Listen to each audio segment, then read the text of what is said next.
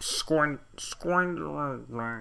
I don't support Leinster, and I'm neither of Saracens fans. And yet, as the two teams took to Tyneside for the final of the 2019 Champions Cup, it was really hard not to get giddily excited. Here were, almost undeniably, the two best teams in Europe, ready to sling everything at each other for the biggest prize in club rugby. And after watching the first half, it almost felt hard to imagine either team taking the title without a three hour penalty shootout first. Here were two sides so evenly matched you could replace the verses with an equals. It was a tantalising stalemate. Two teams that were too good for everyone else, trying to exact the same on each other. Whenever one side made a move that looked decisive, the other one just shrugged and took the opponent's queen. And yet, still came a last 20 minutes where Saracens managed to pull Leinster's pants down and take the Champions Cup back to Champions Way in North Pendon. So, how did Saracens pull it off down and crown themselves kings of the continent a whole week before Eurovision? This was a game pitched at test tier intensity with insane physicality married to clashing tactics as both teams tried to get on top. And like most games of the top caliber, it was decided by a handful of moments that were put into motion by a full game's worth of ideas and intentions. Leinster went into the game knowing not just how Saracens defend, but how good they are at it as well. The Sarries defence having been pretty much the backbone of everything they've achieved in the last 10 years. And that Saracens defence works well as it does partly because of its complexity. Their defence changes shape and ambition depending on their position on the field. Generally, over the first 55 metres or so of the pitch, Saracens throw between 3 and 5 players on either side of the ruck, reasonably tightly together. However, by bunching where the ball will be first, Saracens leave one of the wings defended by just a single man. The idea is to sacrifice covering space for applying pressure. On Saturday, all game they flew up on either side of Doomfest Sex Dragon, closing his options and nabbing a few interceptions along the way. This gave Leinster very little space to work, and there's a great chance you're going to get caught before you can get it wide and exploit that space. However, the closer Saracens get to their own 22, the more they fill out their line, and the softer their rush becomes. In the opposition half, it's about smashing them. In their half, it's about stopping them. Leinster came up with a game plan to deal with this. On numerous occasions, we saw them work their way up to 10 metre line organically, but once they hit halfway, metres became all the more valuable for Saracens, and Leinster had to find another way around them. The pitch is only 100 metres long. Saracens gave them leeway for the first 55. Leinster know they're good enough to break through in the last 15, but that leaves 30 more metres they've got to make up somehow, and this was where their kicking game became vital. Juliard Sextrap scarcely kicked the ball for position himself, and instead Leinster looked to use a particular tactical kick that Conor Murray has basically made a career out of at this point. When they hit halfway, Leinster would work it out to the 15 metre mark and then have Luke McGrath hang a box kick designed to drop just outside the 22. The idea being a winger can get under it and contest for the ball, and Saracens don't have the safety of being able to call the mark. Even if they can't win the ball back in the air, they can put pressure on Saracens, a team who thrive on field position. However, whilst Luke McGrath is a perfectly good player, his box kicking just ate Murray's and just wasn't accurate enough to put enough pressure on Saracens. The most infamous example of this came just before half time as he opted to kick long rather than kick out, infuriating fans across Dublin and the bit of Leinster that isn't Dublin. However, in theory, this was actually quite a smart decision. The idea was to pin Saracens into their 22,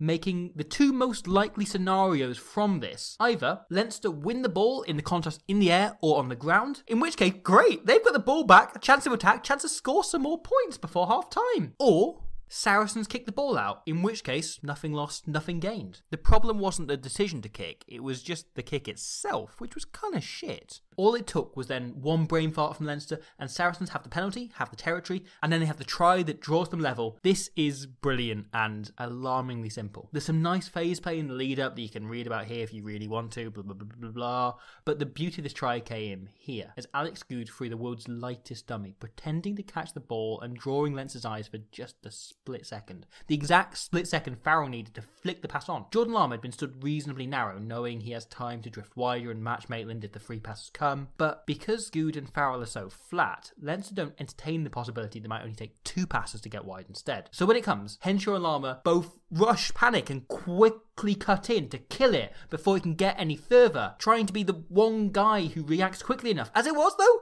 Neither of them were. Farrell flicks it on fast, and Maitland gets to make those last five metres oh so very easily indeed. Leinster, on the other hand, were not so imaginative when taking their overlaps. Most notable was this brilliant bit of work by Liam Williams, who was playing just his first major final away in the colour red this year. But there were other gilt-edged chances dotted throughout the game that Leinster failed to identify, never mind take. There was another chance that was taken, however, as the game was decided by this try from BT Sports' favourite poor little lamb, Billy Vunipola. For most of the game, the scrum was steady, solid. Saracens had something northeast of parity, but it wasn't a genuine weapon until very late on in the game, when things became tough for Fogarty on Tyne, Leinster scrum under huge pressure. Now, I'm way too nine and a half stone to ever really understand or explain scrummaging, but with Leinster down Aussie Nightmare Machine Scott Fardy and forced to scrummage with just seven, Saracens suddenly had an edge, and they showcased the most efficient use of an edge this side of U2. After an initial scrum of just utter destruction, Sarries made the bold decision to turn down the three points and scrum again. From this position, normally the scrum is reset endlessly as the referee awards three or four penalties in a row and warns the props, then bins the props, and eventually might think about going under the post and awarding penalty try himself. I know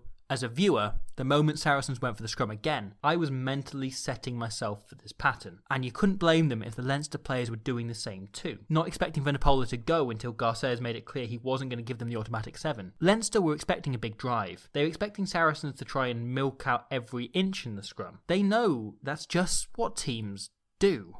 And so, expecting such pressure, Leinster's flankers give all their weight to the effort. No time for focusing on the fringes, no looking to stop the Tongan from Pondy of England caps. They just look to push. With two swords of trepidation in the back of the heads of the boys in blue, Vunipola acts like his Instagram and doesn't think. He just charges. Caught slightly off guard, Leinster do scramble and get into ground, but James Lowe is just a second late in going for his arm, and it gives Vunipola the chance to stretch out and give every single man on that BT Sport presentation team the kind of simultaneous orgasm Billy Vunipola would have been so unapologetically against himself. Now, I mentioned Scott Fardy's trip to the Tyneside Sin bin briefly, but I kind of want to hover on his and Maro Itoje's binnings for just a moment, because that was how long it felt like Itoje was in the bin for. The two sin bin periods actually almost mirrored each other. Both sides lost their number six, five metres out from the line, and had to defend a scrum five moments later before regaining the ball and attacking just outside the 22. However, I think the shades of difference between these two 10 minute blasts actually surmise where the game was won and where the game was lost better than almost anything else. Whilst in theory both periods lasted 10 minutes, the reality reality is slightly greyer. I went through both patches with a stopwatch, and Scott Fardy was off the field for 4 minutes and 48 seconds of actual ball in play rugby time. Maro Itoje, on the other hand, missed just 2 minutes and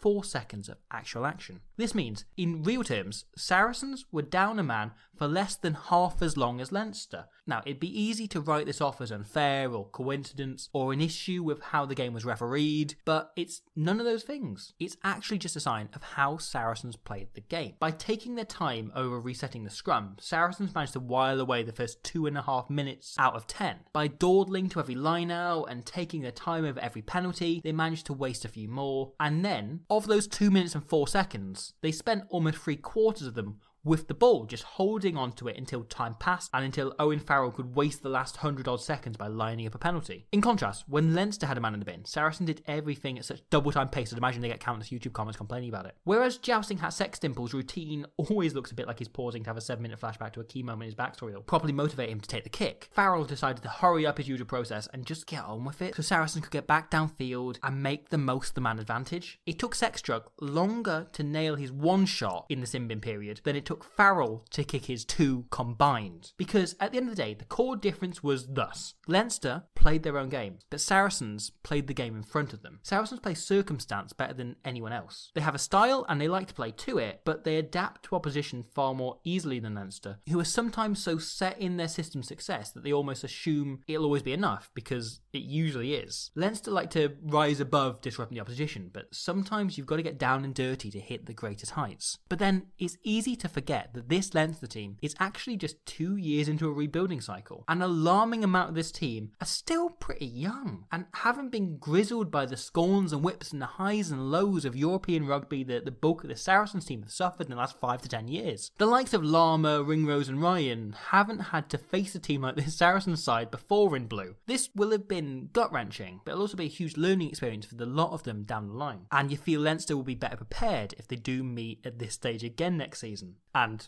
if they do meet again at this stage next season, you feel the result could yet be very different. Hell, if they played again tomorrow on a different day in a different pitch, you feel Leinster might nick it. This was a game decided by sin binnings, a second half that suited Saracens perfectly. And despite a 10 point scoreline, the two teams remain the two best teams in Europe and still about as evenly matched as possible in rugby. I don't know who would win if they played again, but I do know it'd be something that would make me once more very giddily excited. Now, I finished the video script and I'd recorded it already before Alex Goode's absolute heroics from the weekend came out. So, unfortunately, I didn't get time to fit any of those in now. So, I need to acknowledge that at the end. That needs to be the first thing I do here is congratulate Alex Goode, I suppose. Not on the Heineken Cup, but on the, the three days afterwards. Fair play. Fair play, Alex Goode. Uh, beyond that, I need to also acknowledge everyone that's watched that. So thank you very much for watching it, and thank you particularly to everyone that supports the channel on Patreon. It makes an enormous difference for allowing me to do this and allowing me to just continue working the way I am. I'm going to be going back to the series on every team in the World Cup after this. Uh, but I also want to quickly say thank you to the Rocking Kiwi for giving me some great fashion ideas this week.